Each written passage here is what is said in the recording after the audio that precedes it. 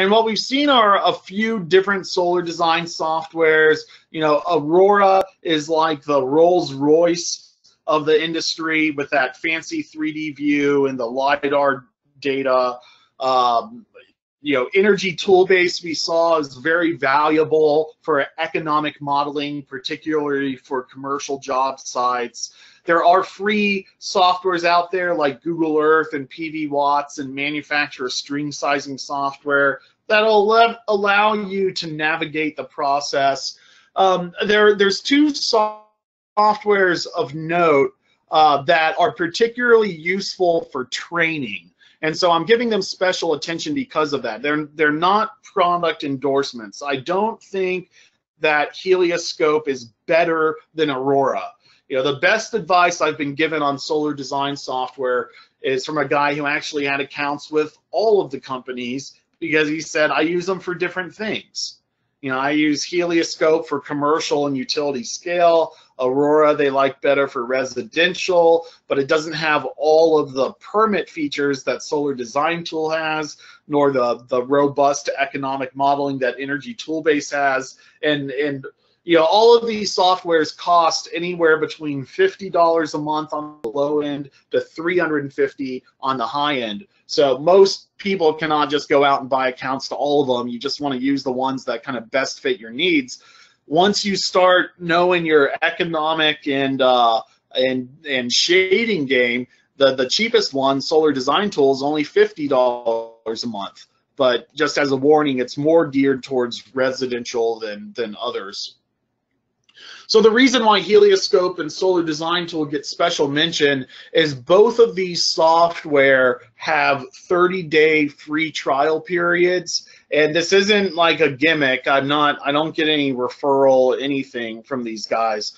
But the, the thing is, although Energy Toolbase and Aurora also have some kind of trial program or money back guarantee equivalent, Helioscope and Solar Design Tool allow you to create a user account without putting in or being charged anything for any kind of payment. So, you know, you might have signed up for some kind of web service where you get a free 30 day trial, but they take your credit card info, and if you don't cancel it, they charge your card. What's really nice about Helioscope or Solar Design Tool is you can actually go to their website, create a trial account, and immediately start playing around with the software without any payment info. There's no way you're going to get charged uh, for that. They'll they'll remind you after your trial's up. And so for like, what's the next step if you really want to get into solar design. Well, the next step is to go into Helioscope or Solar Design Tool or both, you know, run through the exercise from start to finish. Between these two softwares, uh, you should be able to do your shade analysis in Helioscope to determine a final array layout. And then you go and you do your final array layout in Solar Design Tool to generate your permit documentation. You know, I strongly suggest to you if you're interested in solar design, trying doing a start to finish solar design using the free trials of both these softwares is probably the best next thing you can do to advance your solar training.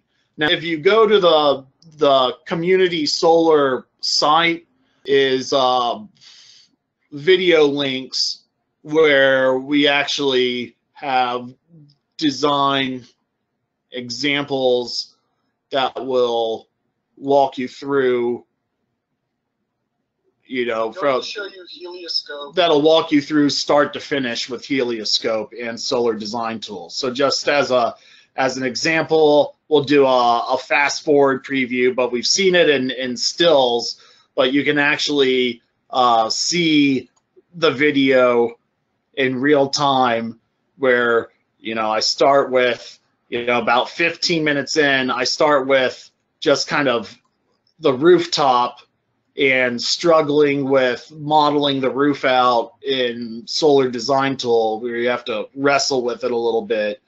So now I'm doing the the the string sizing and circuit configuration and kind of playing around with it a little bit, setting the links of my circuits, filling up the rooftop.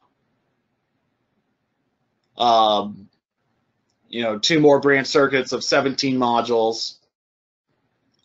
You know, here I'm going and, and rearranging the, the circuits and putting, you know, all of my circuit one on this same circuit, not having it run across the entire rooftop. You know, here I'm doing that survey that we talked about. You know, here is where we're, you know, adjusting the wire sizes and conduit sizes, and you can actually see the the numbers adjust in in real time as you you toggle the settings. You'll see the uh, let's see if I do it there. So I'm changing it to number 10, and uh, we see the voltage drop automatically update. And now, now we're into figure, you know, looking at the the reporting features, and uh, you know, including our our National Electric Code report, our conduit and conductor schedules. You know, here's uh, I'm going to bring up the National Electric Code report, and it's uh, you know, a multi-page report with all the calculations that we need. I think I scroll through it here. You know, so it's every it goes through every circuit, every amperage calculation, every voltage calculation, and then finally, you know, we go and and uh, extract our our one line diagram.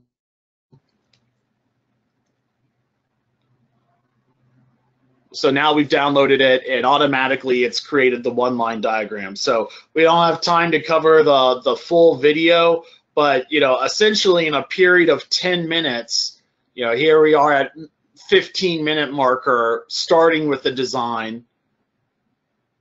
And then here we are 25 minutes later or 10 minutes later into the video you know we have all the permit documentation ready to go and i mean there might you might spend another two hours thinking about the array and uh, you know tweaking it to to make it the best design. But you know it's not a week long process as you may expect.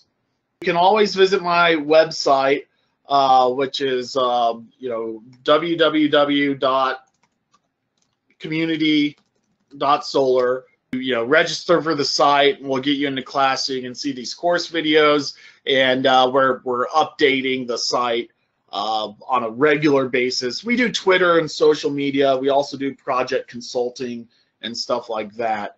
Um, if you have any questions now's the time to ask because we're at we're at the end. If not i hope you you know this class is a little bit more laid back than the others. It's not uh, nearly as technical. We've saved that for the other uh, programs.